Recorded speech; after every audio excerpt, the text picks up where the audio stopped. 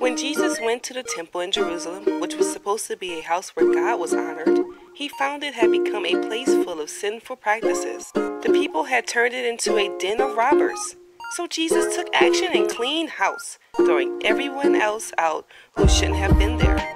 Our hearts are like the temple or a house for the Holy Spirit, so we should have clean heart, just as the temple has to be clean. When we ask God to clean our hearts and start living according to His will, we don't have room for anything else. Everything else has to move out of the way. In this object lesson, the water represents our hearts.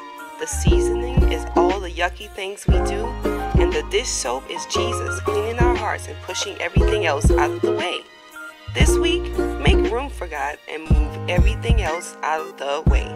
God loves you, and so do I.